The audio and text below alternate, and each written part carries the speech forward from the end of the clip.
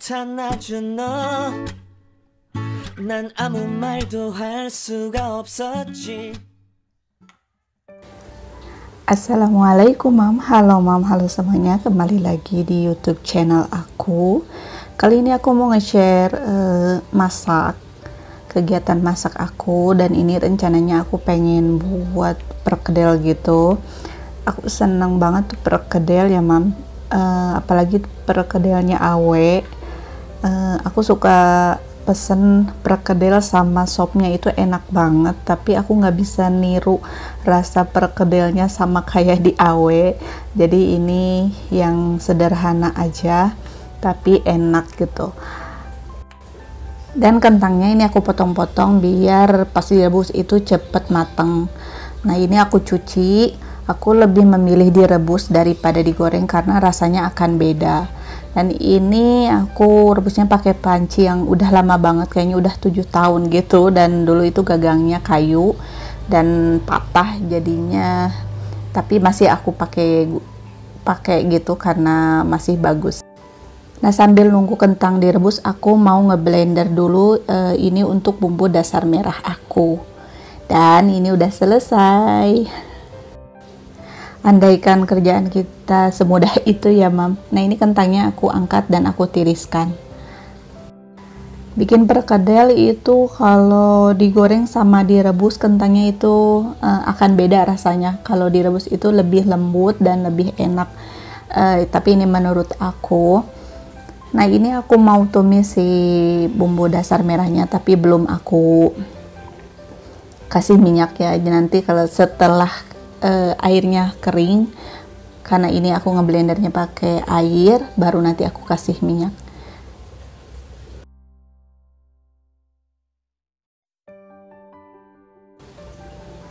Nah ini aku ulek si kentangnya. Aku lebih senang diulek seperti ini. Biasanya kan ada yang dilembutin pakai garpu tapi aku lebih uh, lebih enak di seperti ini gitu jadinya kentangnya benar-benar halus.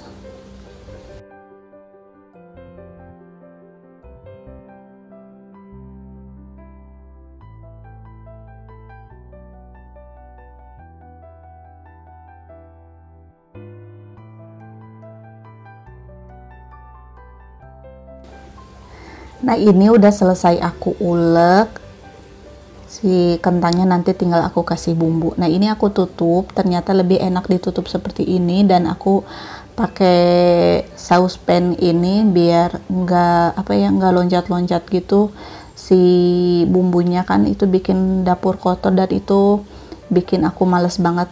Tapi e, dengan cara seperti ini ternyata e, si bumbunya itu enggak enggak loncat-loncat gitu ya mam Nah ini aku iris-iris untuk si perkedelnya aku kasih daun seledri sama daun bawang aja.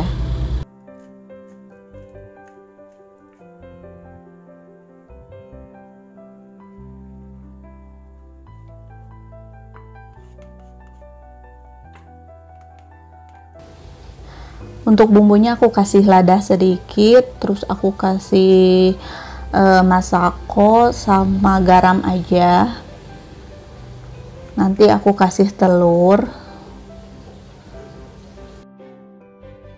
Nah ini aku kasih telur satu tapi karena di rumah lagi ada sisa telur putih gitu e, bekas aku buat donat jadi aku pakai. Ini kayaknya kalau nggak salah ada bekas tiga butir jadi aku pakai setengahnya.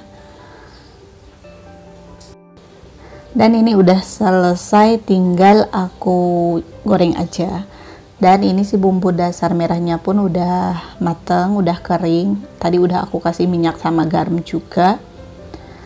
Nah ini kan aku udah kebingungan uh, masak sayur itu ya udah jadinya aku uh, masak tumis labu sama sayur sih sayur labu sama wortel. Ini aku irisin bawang merah bawang putih aja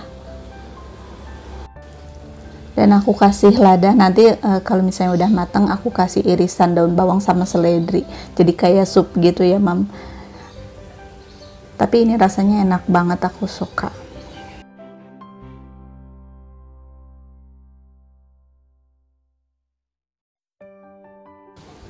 Nah ini aku pindahin ke kompor sebelah karena aku mau ngegoreng uh, perkedelnya di kompor sebelah sini ya mam. Karena biar lebih gampang aja. Nah ini aku ngegorengnya nyeteknya itu aku pakai 2 sendok aja seperti ini. Ngegorengnya jangan pakai api besar dan si minyaknya pun jangan terlalu panas pas masukin supaya nggak angus gitu.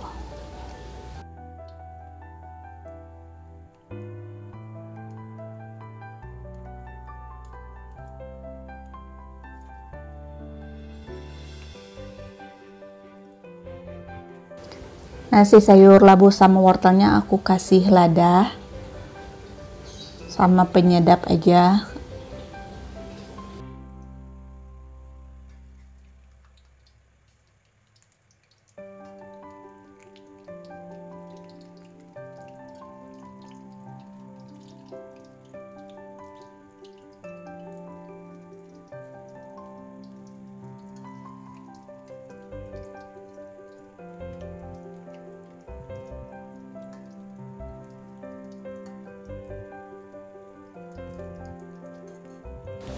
dan ini si perkedelnya udah mateng kuning cantik banget ya mam. Ini tuh enak banget lembut gitu rasanya. Ini karena aku buat sendiri jadi untuk dua kali makan udah cukup 6 nah seperti ini cantik banget warnanya. Dan ini bumbu dasar merahnya pun udah aku tuang ke wadah plastik tinggal aku taruh di chiller. Dan untuk sayurnya pun udah mateng aku kasih daun bawang sama seledri. Alhamdulillah ya mam untuk rezeki kita hari ini. Uh, sampai di sini video dari aku. Terima kasih yang sudah menonton. Assalamualaikum